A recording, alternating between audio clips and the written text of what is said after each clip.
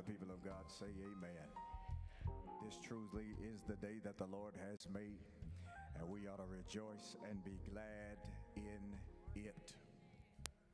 Is there anybody in the building tonight that's excited about being in the house of the Lord one more time? Could have been the other way. But we thank God for his goodness and his grace. Would you do me a favor and grab your neighbor's hand tonight? Let's go to God in prayer. Grab that neighbor's hand tonight. Father, we are grateful that you have given us the precious privilege to be where you are. Your word declares that in the presence of the Lord is the fullness of joy. At his right hand are pleasures forevermore. Your word declares that you inhabit the praises of your people, that you literally sit down in the midst of whatever we're going through and dealing with. When we do not get distracted by what we see, but we embrace the reality of who you are. We are able to fall under your regency and your sovereignty, even in struggles, storms, and even in sickness. You are a very present help in the time of trouble. So, God, we've gathered in this sanctuary tonight, not testifying based upon what somebody told us, but God, we know you for ourselves. You've been better to us than we could ever be to ourselves. Lord, you look beyond faults and you see every need. Yesterday's mercy wasn't good enough. So you gave us brand new mercy this morning. And God, we definitively declare tonight that brand new mercies deserve a brand new praise. We'll give you glory in this place. Now, God, as we prepare to gather around your word, our prayer is that you'll let the words of our mouth, the meditation of my heart, allow it to be acceptable in thy sight, O Lord, my strength and my redeemer. God, preach through me, preach to me, preach for me. Send the word so that your people will be edified, but in all things your name be glorified. We bless you in advance, God, for an anointing that makes preaching easy. We honor you for the treasure that you placed in earthen vessels, that the excellency of the power may be of God and not of us. We pray it in the strong, the sacred, and the supernatural name of Jesus the Christ. Might the people of God say, Amen. Amen. I will bless the Lord at all times, and his praise shall continually be in my mouth. We thank God for another watch that he's allowed us to gather tonight uh, to be able to share the word. We thank God for presence of the Holy Spirit that leads and guides us all into truth. We thank God for the pastor of this people and the angel of this assembly, my friend, Pastor H. Bruce Maxwell. Lake Providence, y'all missed your cue one more time. One more time. I get to, I get to, I get to, I travel so I get to eat a lot. Uh, but when I eat, uh, uh, I eat stuff that fills me until I can get something better. If I really want to eat real good, I don't go to restaurants. I go home. Because at home, the chef knows how to give me exactly what I need. This week of revival, you're going to eat in a restaurant, but you ought to praise God for the chef that cooks every week to make sure that you get fed. Will you praise God for Pastor H. Bruce Maxwell? Amen. Lake Providence, you ought to be proud of your shepherd, and you ought to praise God for it. Amen. Bless you, sir. We thank God for your for your hospitality and your and your kindness to a youngin. Amen. We thank the Lord for the opportunity to share. To all the preachers who shared with us today, and to Reverend Moody and Reverend Parks from the Watson Grove Church, we thank God for you. To all of our deacons that are here with us today, and officers, members, visitors, and friends of this great branch of Zion, we greet you in the name of Jesus the Christ. I got to give a shout out to the Watson Grove family that's here tonight. If you're here tonight, would you stand? I just want to give you some love, give you a shout. Amen. I praise God for you. I thank God for you.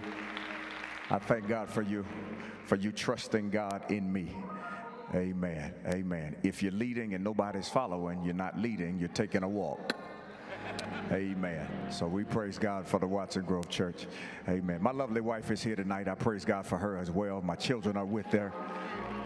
Amen. They're hanging out tonight, able to make it tonight. Always good and grateful to have them. Our brother deacons are serving tonight. Amen. Deacons from Watson Grove. Amen. There y'all go. Y'all know my, I got the glare. I can't see. Thank God for you, sir. Thank God for you, gentlemen. They were here last night, but they got a chance to serve tonight, so we praise God for them. For all of our preachers who are here as well, thank you. God bless you. We appreciate you. Uh, certainly don't want to be before you long, but there's a word from the Lord. First Timothy chapter 1. You already heard it in your hearing. Just want to read it one more time to let it sink into your heart. Scripture tells us that we ought to meditate on the word day and night. Allow it to saturate and soak into our hearts. You know, good meat is meat that's been soaked first. Amen. Amen. Amen. Amen. Sit with that thing sometimes and let it just let it just soak. Amen. The word is the same way. First Timothy chapter 1 beginning at verse 12 reading from the New Living Translation the Bible reads this way. I thank Christ Jesus our Lord who has given me strength to do his work.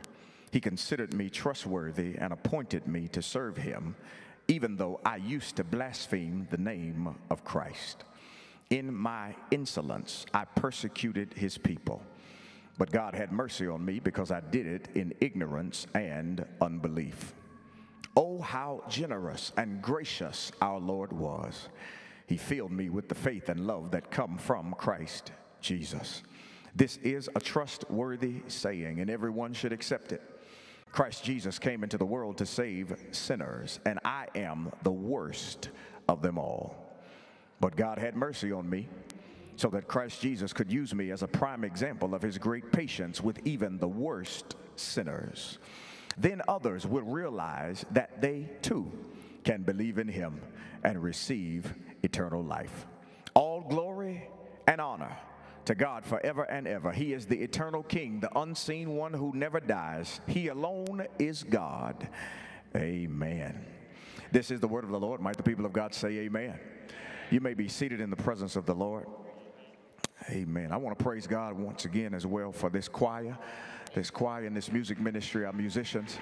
Thank God for you. Can't take y'all nowhere. Amen. Amen. To our ushers who are serving tonight, God bless you. We thank God for you. Amen. We praise the Lord for you. Listen, I want to talk tonight with the Holy Spirit's guidance on the subject pass it on. Pass it on. By now, you know I'm an interactive preacher. That means I need your help to preach. Would you do me a favor and tap the neighbor that is next to you? Tap him on the shoulder. That's the one beside you. Tap him on the shoulder, look at him with the face, look at him in the eye. Matter of fact, look at them like they owe you some money. Look at them good. Look at them real good. And tell them, neighbor, whatever you do, don't forget to pass it on.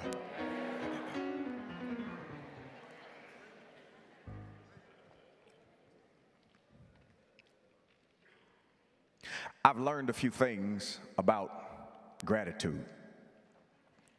Gratitude is an attitude that must be caught and or taught because greedy discontentment is the default setting for humanity. Gratitude is an attitude that must be caught or taught because greedy discontentment is the default setting for humanity. If we're not taught to appreciate what we have, we will find a way to complain about what we don't have. Nobody has to teach us to complain. We were born naturally equipped to do that. But we do have to be taught and trained on how to have gratitude. Our African ancestors understood this proclivity of human nature. Therefore, they created in every village an office called the griot. The griot's job was to learn orally the history of the people in the village. Therefore, when the next generation came along and they were wondering how things got to be the way that they are. And if they ever had any questions about how God had brought uh, the village and the people from one generation down to the next, they would be sent down to the griot's house.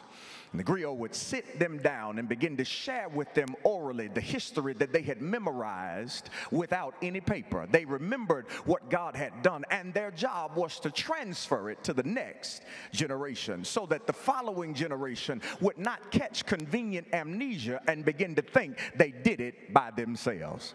Gratitude is an attitude that must be caught or taught because greedy discontentment is the default setting for humanity. We learned this in kindergarten as well.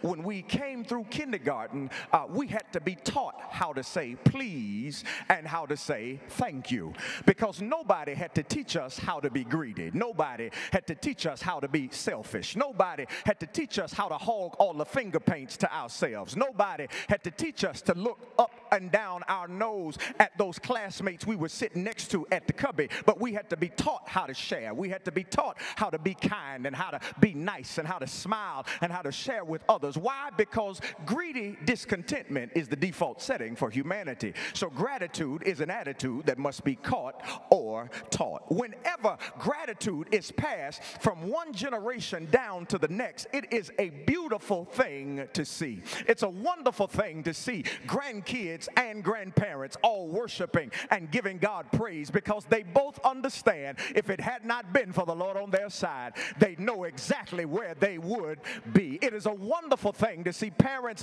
and to see children praising God, worshiping, saying grace together, waking up every morning, praying together, holding devotion, and appreciating the manifold blessings that God has given because that gratitude has been passed down from one generation to the next. However, if we scanned the landscape, of society, you and I can both testify that this level of gratitude and appreciation is not always being transferred from one generation down to the next. This is how, this is how a generation who died for the right and responsibility to vote can be followed by a generation that has the right to vote and won't use it. Because unfortunately, gratitude is not always being passed from one generation down to the next. This is how a generation of people who worked their entire lives so their children could attend school can be followed by a generation who can pick the school of their choice, but will miss countless days after being suspended for something stupid. That's because gratitude is not necessarily being passed from one generation down to the next. I got to preach to myself tonight. This is how, this this is how a generation of people who could not even go into certain stores and in certain parts of the town, yet made Christmas special every single year, could be followed by a generation of people who stand in line on Black Friday, cuss, fight, and even kill each other to be first in line to spend rent money on Christmas. That's because gratitude is not being passed from one generation down to the next. Y'all don't mind if I preach it like I feel it tonight, do you? I, I, I, I, I believe that, that, that we always got something to say about the next generation. We always have something derogatory to say and some kind of critical commentary to give to the next generation. But could it be that's how we raised them? Y'all don't like me tonight, do you? Could it be that we are, we are not appreciative for what we have, so we always complain and talk about what we don't have and what didn't go our way, and then we get an attitude when they wake up in the morning complaining just like us. We get an attitude when they don't appreciate what they have just like us. Maybe they caught it the right way. We shouted last night. I want to teach tonight. I hope you don't mind. Gra- gra- gra- gratitude has to be passed from one generation down to the next. And nobody understood this better than the Apostle Paul. Apostle Paul here, here in this first letter to his son in the ministry. His son in the ministry, Timothy, is now an itinerant pastor there in the city of Ephesus. And he's writing to strengthen Timothy and to make sure he understands that, listen, you are not there because you are gifted. You are not there because you are talented. You are not there because you are so eloquent and you have the ability to extract from the word, from the law, and from the prophets. You are there simply simply by the grace of God. And Paul wants to make sure that Timothy never gets it twisted, never begins to rest on his own laurels, never begins to think that he got himself to where he is. So he makes sure in his introductory comments in his first letter to his son to tell him, listen, the reason you're there is because God has been good to you, and you need to always be grateful for everything that the Lord allows you to experience. Can I pause for just a moment here? I need to take a survey of the house. Is there anybody in the building tonight that can testify? I'm smart, but I ain't that smart. I'm gifted, but I ain't that gifted. If God hadn't opened some doors, if God hadn't made some ways, if God hadn't turned some things around, I would not be here today. Matter of fact, matter of fact, you might want to do a row check tonight and look down your row to see if there's anybody on your pew that ain't grateful. If they are not grateful, if they got an attitude, you might want to move to another spot because you want to get connected to folk who are grateful and folk who understand it's God that got us to where we are. I digress. Paul says, Paul says, Tim, I need you to understand that you got what you got by the grace of God. And he does not do it by looking down at, at, at, Timothy and telling Timothy what he ain't doing. I wish I had time tonight. Pa- Paul looks at Tim, his son in the ministry, and wants him to be grateful. But he does not sit on his pious, his pompous pedestal of piety and look down his nose at Tim and tell Timothy what he ain't doing right. Paul, in order to share gratitude with Timothy, begins to tell his own story. Paul, in order to make sure that Tim gets it, he doesn't talk about Tim. He said, Let me show you how good God's been to me. If I want you to get this, if I want it to be contagious, you got to catch it from a grateful father. And here in the passage, Paul begins to testify, begins to almost tell on himself, begins to share with his son Timothy how grateful and how wonderful, uh, wonderfully appreciative he is for the grace that God has extended to him. If y'all don't mind tonight, I just want to walk through the passage and tiptoe through the tulips of the text to teach you some things about what it means to be grateful. Are y'all interested tonight? Here it is. Paul says, Paul says, if you're going to be grateful, if you're going to share gratitude, here's how to do it. Paul says, Tim, let me give you first an honest confession of my own weaknesses. Uh, he, he, he, sa- he, says, he says, Tim, before we begin the lesson on gratitude, let me show you how it starts. It starts first with an honest, somebody say honest, an honest confession of my own weaknesses. In other words, Tim, let me tell you where I struggle.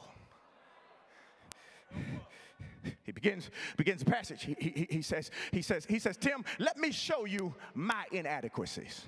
Let, let, let me show you how bad off I was when the Lord found me so that you don't get some super inflated version of my story to think I ain't never done nothing wrong. Paul says, listen, let me show you my inadequacies. He says, he says, verse 12, listen, he says, I thank Christ Jesus our Lord who has given me strength to do his work. He said, he appointed me to do this work. Don't, don't miss that word. Don't miss that word. Paul says, if I got any ability, if I've got any strength, if I've got any power, it's only because God gave it to me. He, he, he, uses the word uh, enabled in the King James Version. It means to be endued or to be filled from an external source.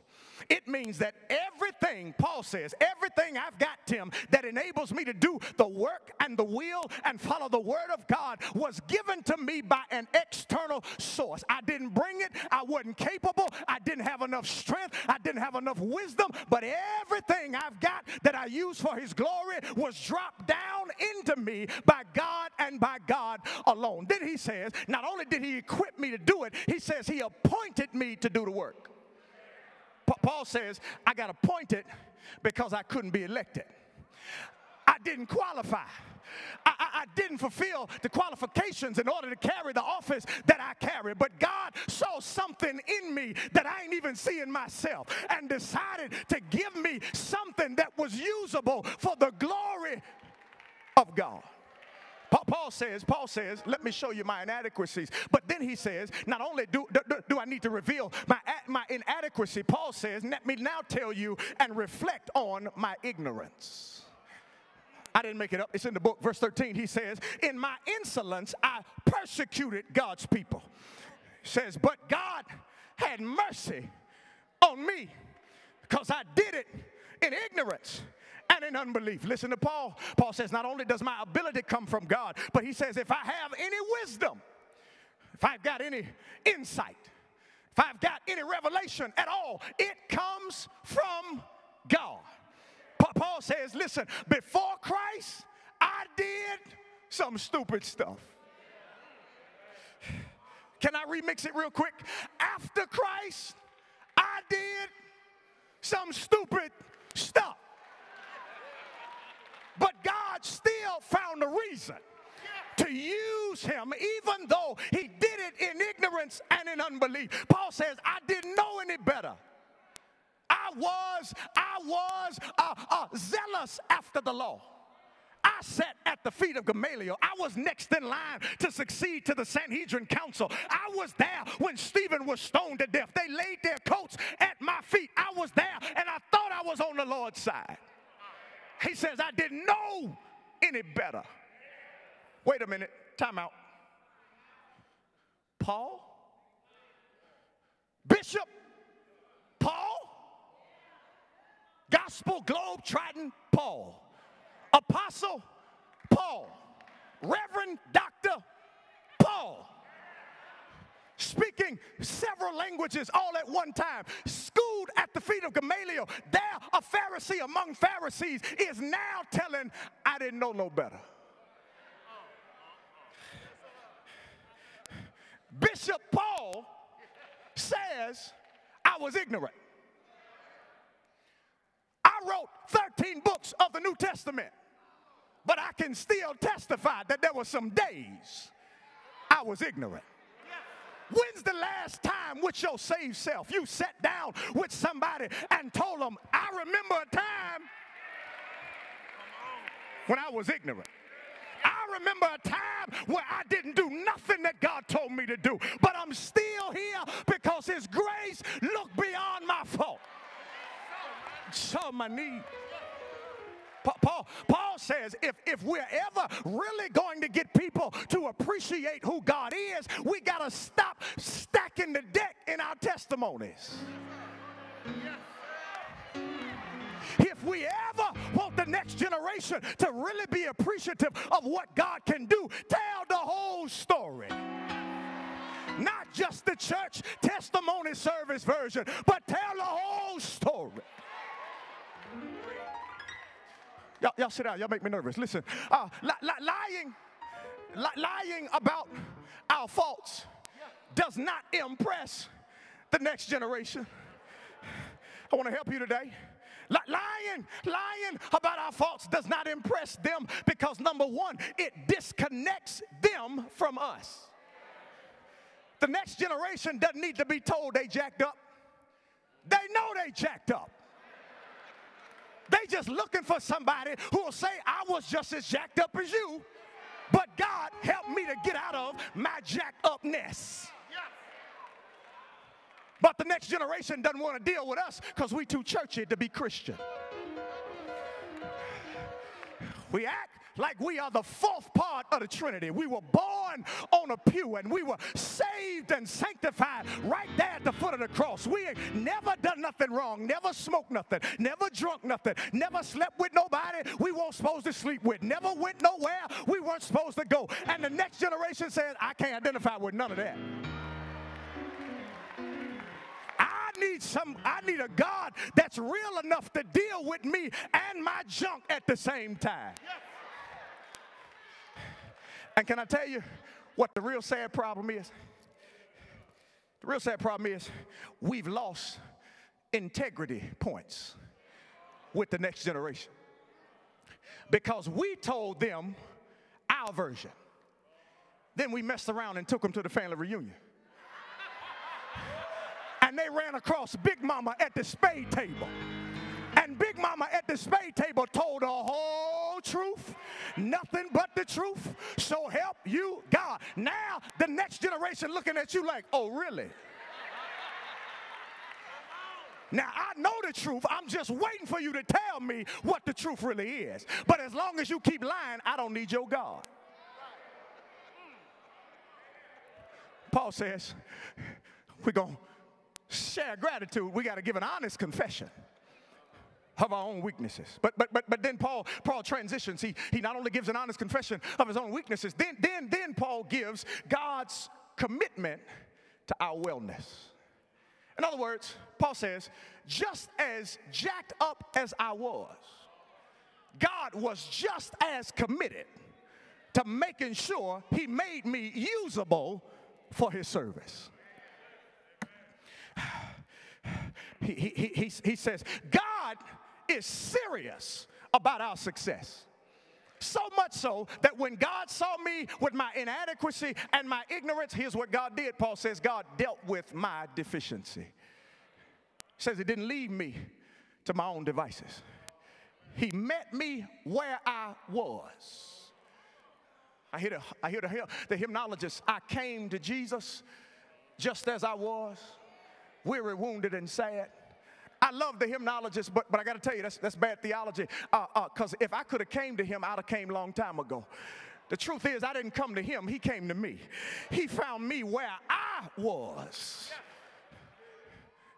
and then dealt with my deficiency. I'm in the text, verse 14. Listen to, listen to Paul. He says, Oh, how gracious and generous our Lord was. Let me translate that for you.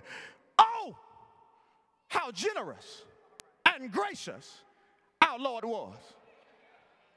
Somebody missed it. One more time. Oh, how generous and how gracious our Lord was. He filled me with the faith and the love that come from Christ Jesus. Don't, don't, don't, don't, when you read the Bible, don't, don't, make sure you read the Bible. Don't read it too fast. Listen, he says, he says, he filled me with the faith and love that only come from Christ Jesus. He filled me. The only people who can be filled are folk who will admit they're empty. The, the, the, only people who, who can be poured in with divine stuff are those who will admit they are filled and need to be emptied first of demonic stuff. He says, he says, he filled me with grace and love. And, and, and, and, and the word says that, that he filled me uh, uh, to the brim or, or, or, or to, the, to the lid. Re- really, in the King James Version, it's similar to the same word found in Ephesians 3 and 20, where it says, Now unto him who was able to do exceeding abundantly above all we could ask or think. It's the same, it's the same term and the same phrase. So, so, so Paul says, when I came or when God came to me, I was empty. But by the time God got finished with me, not only was I filled, but I was overflowing. I, I came with nothing. I left with abundance. I, I, came with a minus, but I left with, with excess. I came empty. I came my under under the radar, but God found me and He gave me more than I could ever imagine. He says, God dealt with my deficiency, but then God delivered without discrimination. I'm in the book, verse 15. He says, Christ Jesus came into the world to save sinners, and I am the worst of them all. There he goes again, telling the truth. Paul says, I am the worst. Paul does not spend time justifying his past. Paul instead says, I was just as jacked up as you heard I was. Probably even more. Th- then he goes and he grabs this, this word uh, in the Greek. He says, uh, I, I, I, I, I was the chief of sinners. That word in Greek is actually protos. It's where we get our word prototype. It means, he says, when you open up Webster's dictionary and look up sinner in the dictionary, I'm the one, the guy waving from the from, from, from, from, from the selection in the dictionary. I'm, I'm prime example of what it means to be a sinner. Paul says, that's me. That's me. That's me. That's me. But here's the thing by embracing his own past, and the depth of his wickedness, he also proves that God can deliver anybody. Too fast, too fast. All right. Uh, uh, by, by, by not shying away from the darkness of his own testimony, he helps others understand that you are never too far gone for God to reach down and to save you from yourself. And somebody in the next generation needs to know because every generation thinks that they are inventing new sins. Every, every, every generation, every generation thinks ain't nobody done it like we done it. We invented getting high, driving, and drunk all at the same time. I wish somebody would tell the truth and say, We've been doing that for years. You talking about turn up. We used to say turn off the lights. It's all the same. It's all the same. If somebody would tell the truth, then the next generation would understand you are not too far gone for God to rescue you and to take you where He wants you to be. Paul, Paul says, we, we, we run out of time. Paul, Paul says, Paul, Paul says, Paul says, if I'm going to share my gratitude, I got to give an honest confession of my weaknesses. I've, I've got to give God's commitment to my wellness. But third and lastly, he says, now God gives an open confirmation of my worth. He, he, he says, God took my weaknesses, He took His commitment to my wellness, mixed it all together, and somehow good and bad connected bring glory to God. He says, I don't even understand how it works. But but but but but but somehow he took my mess, put it in his miraculous hands. Whipped it, turned it, put it through some time of process of grace and mercy. And before you know it, now I stand here today as a demonstration of what God is able to do. The good thing about this is when God does this kind of transformation, He never wants to do it on the low. He always wants to do it on the front page. He always wants to resurrect you in the place where you got crucified. He always wants to lift you up in the place where you thought you were going to die. He always pulls you out and turns you into a trophy of his love and his mercy in the same place where other folks said you'd never make it back. I'm in the book.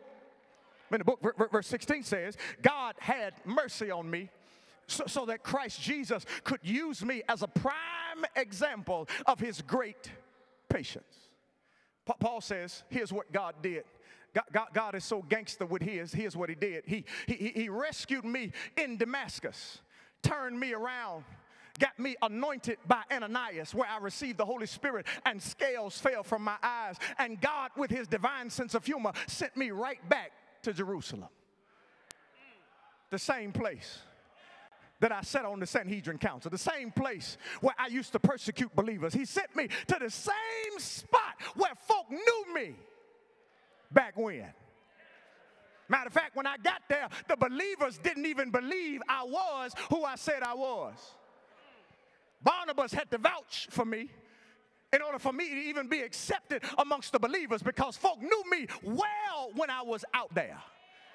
But it didn't take long for them to discover something had got a hold of me. I wasn't, I wasn't the same. I, I, I didn't talk the same. I didn't move the same. I didn't act the same. Somehow, uh, uh, the, the, the bitterness and the anger that was rattling and, and wrestling away my heart got rescued and transplanted with the love of Jesus Christ. And now the same people I used to want to kill are the same folk he's got me leading, planting churches all over Asia Minor. God, God, God, Paul says when God does it right, he does it right. He gives you an open confirmation of his worth. I'm done. I'm done.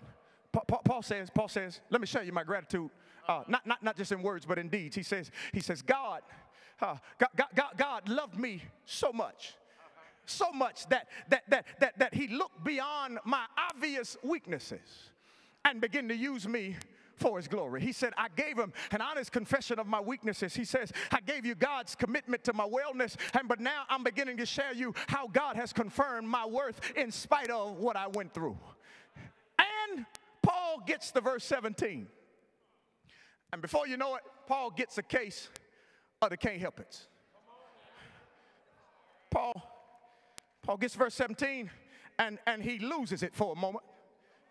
L- listen to Paul. He says, honor and glory to God forever and ever. He is the eternal King, the unseen one who never dies. He alone is God. Amen. Wait a minute, Paul. Paul, Paul goes into uh, what theologians called a doxology. Now, Paul is known for doxologies, but doxologies usually come at the end of a chapter.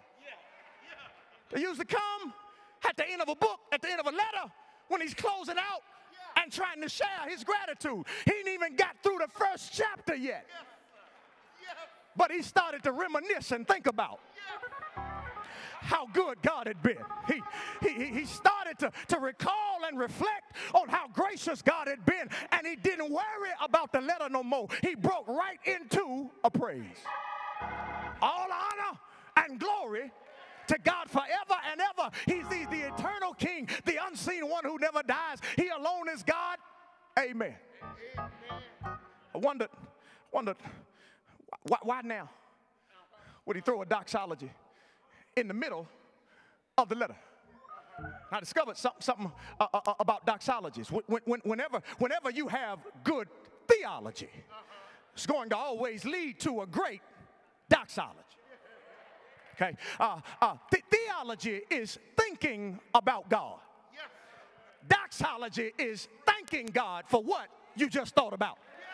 Whenever you think about how good God has been, and you've got a connection to your own testimony, something in you almost can't help itself and begins to remember and to thank God for the grace that He shared.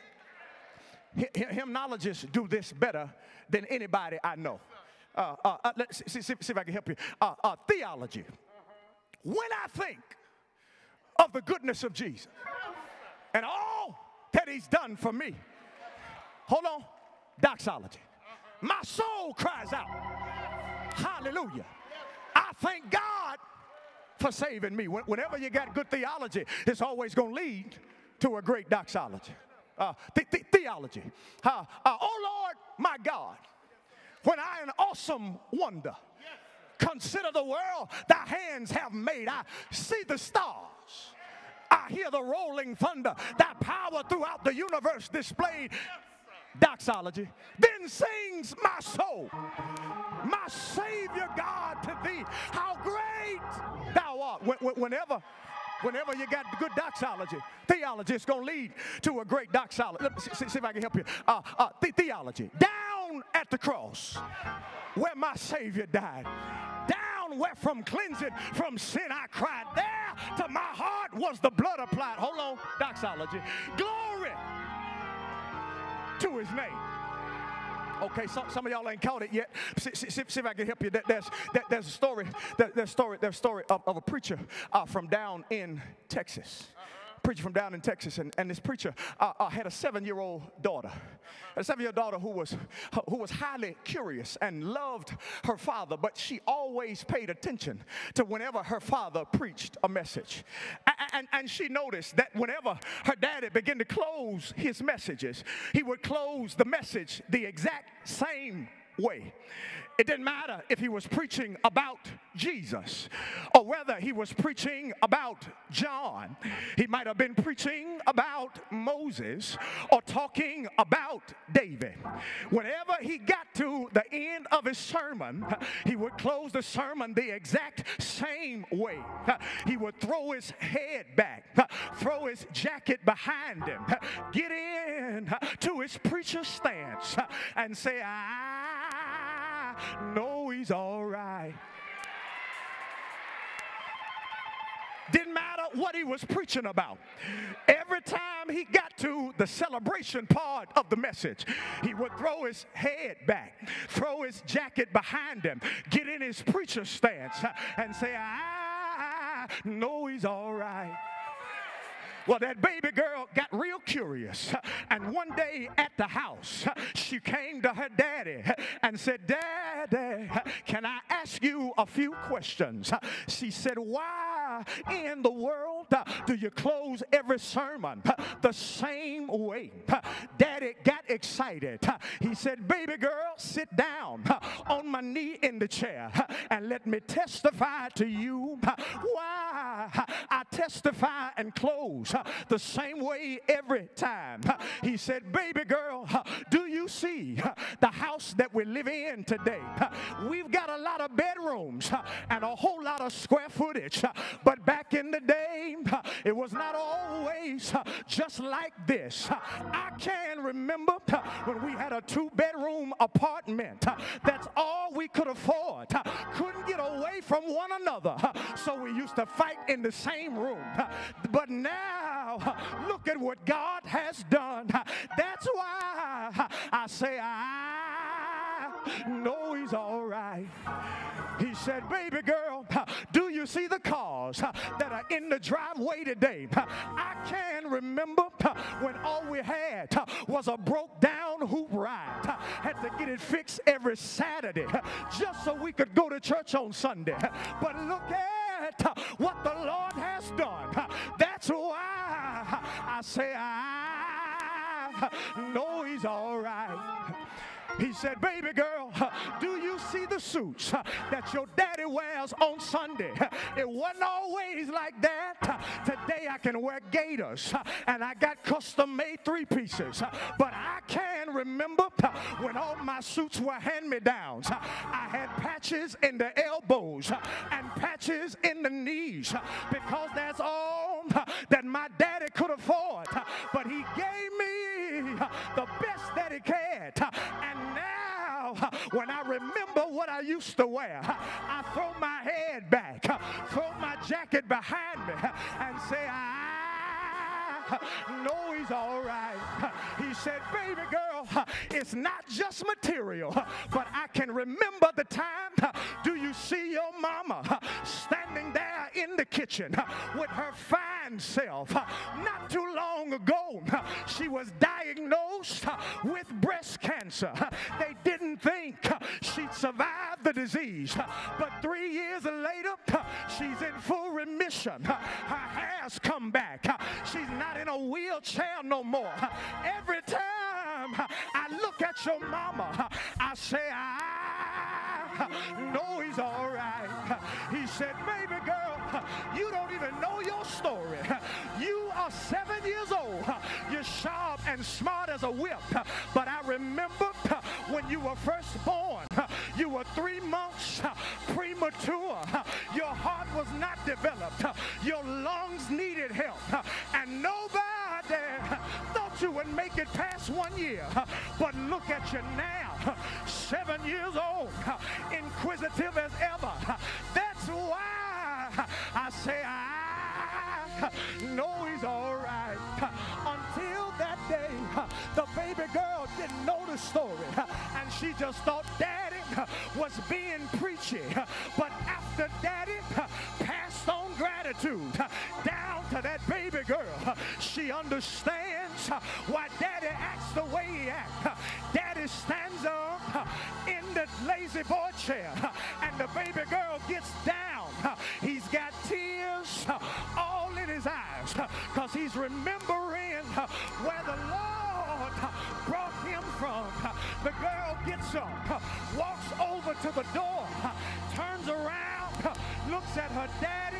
She's got tears all in her eyes. And she says, Daddy, Daddy said what, baby girl? She gets in her preacher stance, throws her head back, throws her dress behind her, and says, I know he's all right.